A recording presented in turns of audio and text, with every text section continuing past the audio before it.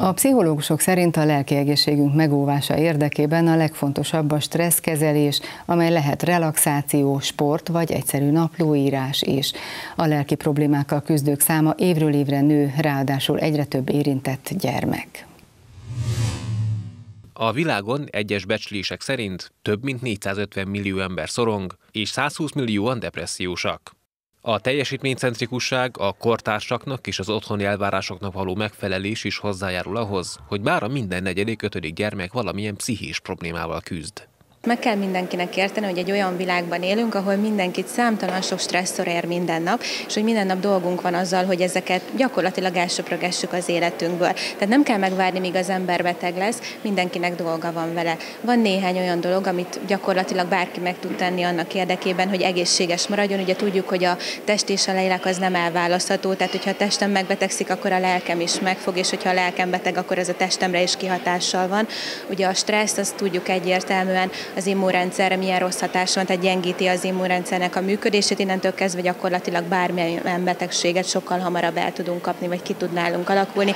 Gondoljunk egy nagyon egyszerű dologra, vizsgaidőszak az egyetemen, főiskolán, bárhol, hogy például a felső légúti megbetegedéseknek a száma nő, miért? Mert nagyon magas ugye az embernek a stressz szintje ilyenkor. Ugye mit lehet tenni annak érdekében? Van néhány olyan alapmódszer, amit mindenki ismer, hogyha megkérdezzük, hogy ki teszi meg ezeket minden nap, akkor általában nem nagyon szoktunk jelentkező kezeket látni, Ugye ilyen például a sport, ami tudjuk, hogy az egyik leghatékonyabb stresszoldó technika, a relaxációs technika, ami szintén nagyon jó hatékonysággal bír, a naplóvezetés. Gondoljunk abba bele, hogy ugye melyik életkor az, amikor az ember elkezd naplót írni, ugye a serdülőkor. Miért? Mert ugye a hormonális változások vannak, feszültség, szorongás, és ugye mit csinál ilyenkor az ember? Nem, nem tudatosan, egy ilyen ösztönös stresszoldó technikát alkalmaz. Ez gyakorlatilag nálunk is felnőtteknél pontosan ugyanúgy működik. Egyébként ez bizonyított tény, hogyha valaki kibeszéli beszéli magából ugye a problémáját, és ez, hogy fú, most megkönnyebbültem, és hogyha leírja, az 80%-ban fiziológiásan ugyanolyan hatékonysággal bír. Ezek azért nagyon fontos tényezők, és nyilván emellett még számtalan van, de hogyha csak ezt a hármat nézzük, ez már elég lenne ahhoz, hogy az ember azt mondja, hogy hosszú távon egészséges maradhatok, vagy tudok a stresszel gyakorlatilag megküzdeni. Vendégünk a stúdióban dr. Nagy Edith, a Nyíregyházi Egyetem Társadalom és Kultúratudományi Intézetének főiskolai tanára. Jó estét kívánok! Köszöntöm. Tudunk-e arról beszélni, hogy mégis milyen lelki állapotban van a magyar lakosság? Ú, a magyar lakosság lelki állapota, azt mondja a WHO, hogy ne csak a magyar lakosságról gondolkodjunk, hogy 2020-ra egy olyan változás következik be az úgynevezett jóléti államokban, ahol szeretnénk tartozni, vagy gondoljuk, hogy tartozunk, amely, amely trendváltozásban a depresszió megjelenik a betegségek listáján a második helyen. Ugye most tudjuk, hogy az első hely a szívi rendszeri betegségek, második a daganatos betegségek, harmadik a háztartási közlekedési balesetek és az öngyilkosság. Na most itt ez azt jelenteni, hogy a depressziónak a fölkerülése, ez jelzi azt, hogy hogy hát a lelki egészség területén ö, olyan régóta mondjunk, de vannak teendőink. Mert hát a depresszió nem ö, direkt formában jelenik meg sokszor, hanem rejtetten. Sokszor egy egy mozgásszerű betegség mögött, sokszor egy ügyészeti probléma mögött, vagy egy alkoholbetegség mögött gyakran rejlik kezeletlen depresszió. És hát arról nem beszélve, hogy a gyógyulás folyamatában óriási szerepe van annak, hogy van-e, társul-e valamilyen mentális betegség a szomatikus betegség mellé, vagy sem. Sokszor a szorongás, a depresszió a gyógyulás esélyeit sokszorosával csökkenti. Így van, vagy például egy meglévő ö, műtéti utáni szakasznak a lábozását meghosszabbítja, sok esetben a, a gyógyulási folyamat is meghosszabbodik, pont, vagy csak egy egyszerű, banális légúti fertőzésből való gyógyulás is sokkal tovább tart, hiszen pontosan tudjuk, hogy az immunrendszerünket megterelő folyamatról van szó, és hogy valójában a károsító stressz, ugye a Seje János által említett D-stressz, az, ami az immunrendszerünket leginkább megviseli, és ez tulajdonképpen egyik fenntartója a, a, a úgynevezett stressz utóbetegségeknek. És a legnagyobb stresszforrásunk micsoda? Egyrészt a család, a családi kapcsolatokból származó stressz, másrészt pedig a munkahelyi stressz, amit a WHO is azért az utóbbi időben meglehetősen fenyegetőnek tart. olyannyira, hogy az Európai Uniós miniszterek, egészségügyminiszterek összejöttek, és, és kiadványukban volt arról szó, hogy a krónikus munka stressz, erre nem lehet nem odafigyelni ennek a megelőzésére, mert a legnagyobb táppénzes napokat az ebből fakadó kiesések adják, munkaerő való kiesések adják, és mint ahogy elhangzott, az emberi kapcsolatok nélkül, hogy az ember bioszociális lény, nem tudunk létezni, ugyanakkor az emberi kapcsolatokban rejlik a legtöbb károsító stressz. Tehát ez, ez ami nélkül nem tudunk lenni, de ugyanakkor egy egyrészt rizikófaktorá is tud válni, főleg akkor, hogyha egy versengő társadalomban, egy fogyasztói társadalomban a rivalizáció, az állandó ö, teljesítmény ö, miatti szorongás, a teljesítmény kényszer ö, jelen van, és, az a, és a bizalmatlanság. Ugye Kopp Mária nyugodjon békében mindig mondta, és ö, állította, hogy nem annyira a burnout a kiégés, sokkal inkább a munkai stressz, ami krónikussá válik a munkai szervezetekben, fokozza a pszichoszomatikus betegség kialakulásának az esélyét. Mik a munkahelyi stressznek a legfontosabb tényezői? Mi az, ami miatt a munkahelyre azt mondjuk, hogy stresszes? A bizonytalanság tényező. Tehát valahol az ember a személyiség életében a kiszámíthatóság, az állandóság, az egy olyan alappillér, amely, amely belátható időn ad egy olyan biztonságérzést, ami napjainkban leg, legkevésbé van jelen a munkahelyeken. Ugye gondoljunk csak arra, hogy a mi generációnk, tehát mai 40-es, 50-esekre gondolok, még úgy szocializálódott, ugye még a rendszerváltás előtt voltunk gyerekek, hogy kiszámítható módon alakul egy életpálya, kiszámítható módon következik be a karrier csúcsa, nem volt nagyon jelen a lifelong learning, valaki kijött az egyetemről 20-30 év múlva, vagy 35 év múlva nyugdíjba is mehetett, és ez egy olyan biztos, nyugodt megéletést adott, nem volt, nem volt el az életváltoztatásokkal. Ma egy életpályán belül háromszor, négyszer kell, vagy van arra szükség, hogy pályát módosítson módosítson valaki. Most ez a módosítás jelenti azt, hogy feltehetőleg nem az alapdiplomájának, alapvégzettségének, bármilyen végzettséget nézhetünk, fog ő elhelyezkedni, hanem ahogy a piaci lehetőségek adják. És a változatás nagyon gyakran rá kényszerítődik a munkavállalóra, nem szabad akaratából teszi, hanem azért, mert a piaci feltételek, a munkai körülmények így változnak meg.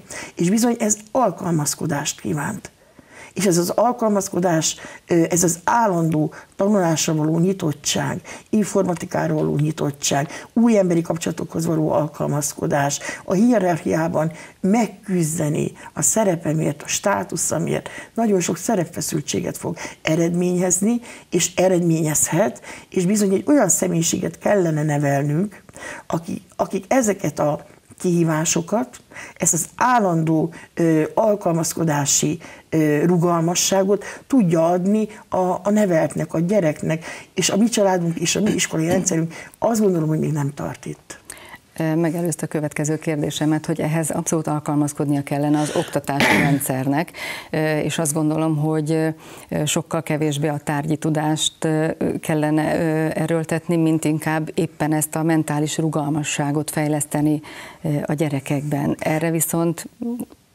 ki, ki fogja felkészíteni a gyerekeket? Sajnos a családok sem feltétlenül alkalmasok erre. Annál is inkább, mert ugye a családban ö, óriási az az idő, amit a szülők arra fordítanak, hogy megszerezzék azt a mennyiségű pénzt, ami a, az állandóságot biztosítja a családban. Ami mellett kimondhatják azt, hogy na, akkor most nyugodtak vagyunk. De ez a nyugodtság érzése mindig csak virtuális, és valójában az iskolában is ki kell találkozik a gyerek óvodában is, többnyire frusztrált, szorongó pedagógusokkal, akiknek ugyanolyan problémáik vannak, mint otthon a szüleiknek, és gyakorlatilag nincs meg az a fajta, az a fajta harmónia érzés, vagy csak nagyon kevesekben van meg az a harmónia érzés, ahol a gyerek biztosan tud kötődni, jól tud kötődni, és láthatja azt a mintát, azt az idolt, hogy én úgy szeretnék majd élni hogy hol van az a minta ma, hol van az a pedagógiai módszer, van ilyen, mert hál' Istennek azért a tréning módszer, az a fajta interaktív didaktikai módszer, ami napjainkban azért már a magyar iskolarendszerben jelen van, pontosan ezt a célt szolgálna, hogy így tanítsuk a gyerekeket, de még a kezdeti stádiumban vagyunk. Ma már egyértelmű, hogy a gyerekeknek a lexikális tudásában ott lesz a Google kereső, beírja, hogy mivel szeretne dolgozatot írni, és ott lesz a, a tárgyi tudás. Nyilvánvalóan az intelligencia kell ahhoz, hogy a ki tudja választani, hogy mire van szüksége, és kell a tanárnak az irányítása. De valóban én is azt gondolom, hogy nem annyira a racionális intelligenciát, mint az érzelmi intelligenciát kellene fejlesztenünk ahhoz, hogy empátiával, kiszámíthatósággal, türelemmel, humánummal tudjunk közelíteni a másik irányába, hogy ne a versengés, ne az agresszió legyen a minta, hanem az, hogy együtt, csoportban, közösségben tudunk erősek lenni, és egészségesek maradni.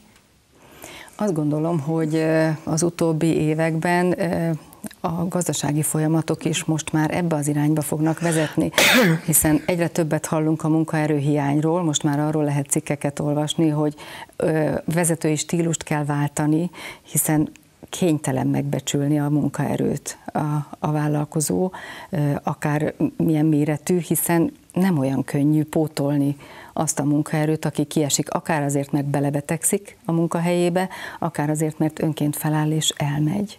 És kibetegszik bele, aki a legjobb képességű dolgozó volt. Szóval eljött az az idő, mint ahogy ön is mondja, hogy a legjobb képességű munkavállaló fog leghamarabb kiégni. És rájön a, a, ezen a bizonyos európai, Európai Uniós konferencián, arra jöttek rá a munkáltatók, hogy pontosan azokat a kollégákat veszítik el, akik a legjobb képességűek, a legkevesebb selejtet termeltek, leginkább mentorokká tudnának válni, és a leginkább nehéz őket pótolni, hiszen ma már azért a szellemi erőforrásnak a fejlesztése bizony egy cégen belül is több hónapos folyamat mentori megtámasztás mellett. Tehát pénzben kifejezhető, hogy meddig ö, ö, tanítatunk ki valakit. Tehát magyarul a cégnek válik érdekévé a jó munkaerőnek a megtartása. Ez szeretnék látni, hogy már a versenyszférában így van, azt gondolom, hogy így van. Ö, a közszférában ennek még csak apró jeleit látom, hiszen a közszféra azért mindig mögötte van a versenyszférának, de azt gondolom, hogy ott is eljön az az idő, amikor egy-egy intézmény fennmaradásának az egy fontos feltétele lesz, hogy mennyire népszerű, mennyire lesz elfogadott az adott közösség számára, és ez is egy faktor lesz abban, hogy miért választanak egy óvodát, egy, egy butikot, egy fodrászt, tehát minden olyan szolgáltatásnál, ahol emberekkel foglalkozunk, ez az emberi érték fog felértékelődni. És én ebben azt, e, azért reménykedem is, hogy ez a folyamat föl fog gyorsulni. Hogyan lehet ezt a folyamatot segíteni és gyorsítani? Ki az, aki ebbe be tud lépni, hiszen az oktatási rendszerről éppen azt mondtuk, hogy ez nem feltétlenül alkalmas, a családok nem biztos, hogy alkalmasak. Van-e olyan megfelelő szakembergárda Magyarországon, akik ebbe be tudnak szállni? Én azt gondolom, hogy a, a humán értelmiség, átképzésekkel, a mentálhigiénikus képzések, a szociálpedagógusok, a szociális munkások, az a fajta humán andragógusok, művelődi szervezők, az a fajta segítő szakmához közeli társszakmák, az egészségügyet ne hagyjuk ki. Ugye gondolok a védőnőkre például. Nagyon-nagyon sokat tudnak ahhoz hozzátenni, hogy a lelki egészségünk az életünknek a különböző színterein egyre inkább javuljanak, és hogy ha már professzionális módon, intézményi keretek között, akár iskolai szociális munkásra, akár iskolai védőnővel, akár egy intézményi egészségfejlesztővel kell találkozni annak érdekében, hogy javuljon az embereknek a, a lelki állapota, ha ezen az áron, akkor az ezen áron, de történjék meg. Dr. Nagy Edith, köszönjük, hogy velünk volt ma este. Köszönöm szépen a meghívást.